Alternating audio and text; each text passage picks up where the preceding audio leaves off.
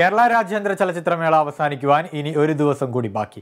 ലോക സിനിമയിലെ ഇരുപത്തിയേഴ് ചിത്രങ്ങൾ ഉൾപ്പെടെ അൻപത്തിനാല് സിനിമകളുടെ അവസാന പ്രദർശനം ഇന്നുണ്ടാകും. കിം കിം ഡൂക്കിന്റെ അവസാന ചിത്രമായ കോൾ ഓഫ് ഗോഡിന്റെ രണ്ടാമത്തെ പ്രദർശനവും യു എസ് ചിത്രമായ ദി വെയിലിന്റെ അവസാന പ്രദർശനവും ഇന്ന് നടക്കും. Freedom Fight nineteen one A ബാക്കി വന്നവർ എന്നീ മലയാള ചിത്രങ്ങളുടെ പ്രദർശനവും ഇന്നുണ്ടാകും. സി എസ് വെങ്കടേശ്വരൻ തയ്യാറാക്കിയ ചലച്ചിത്ര അക്കാദമി പ്രസിദ്ധീകരിച്ച കാലത്തിന്റെ ഇരുൾ ഭൂപടങ്ങൾ ബേലേതാറിന്റെ ചലച്ചിത്ര ജീവിതം എന്ന പുസ്തകം മന്ത്രി പി രാജീവ് ബേലേതാറിന് നൽകി പ്രകാശനം ചെയ്യും. ചലച്ചിത്രമേളയിലെ സാംസ്കാരിക പരിപാടികൾ ഇന്ന് അവസാനിക്കും.